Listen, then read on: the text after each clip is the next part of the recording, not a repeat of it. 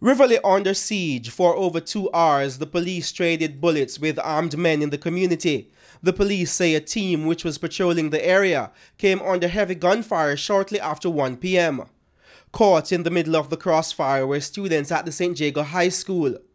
Parents frantically tried reaching their children inside, while students and staff tried to make contact outside. Uh, my daughter called me in a state of panic um, wanting me to pick her up immediately because shots were being fired and she was scared. I came here immediately. I've been here for the past 45 minutes. Um, the police won't allow us to, to go down. I've spoken to my daughter. She has told me that all the students are gathered in the hall and they are safe. A whole lot of gunshots being fired. Well, I know for my daughter in particular, and there it goes again, shots are now being fired again. I know for my daughter in particular, she is easily traumatized, so I know this will affect her. The gunshots continued.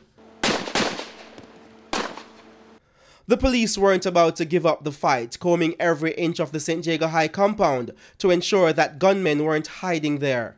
After hours of being locked down in the school's auditorium, the students are now released and they are running home before anything else happens. Students were slowly allowed to leave the school compound. Many scampered to safety as quickly as they could. And there's a be a shot was while ago when we have to run one. During that physics exam, uh, we only hear boy, boy, boy, I have to go down on the floor. Next thing we know, run out and give back paper, resit exam next day.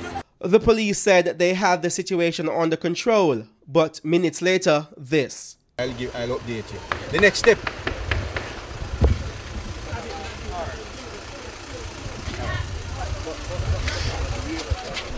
The police say they recovered an AK-47 rifle and several rounds of ammunition during the standoff. However, residents of Rivoli are upset with the police, saying the operation was politically motivated.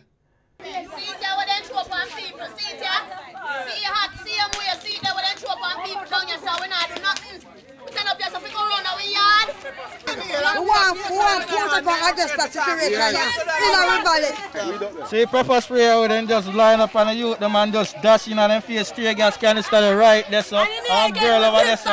A girl a ball for all her eye right you know. She can't see a thing. See, all I it there. See there? Hold on, hold on the skin. Keneal Gale, CVM News.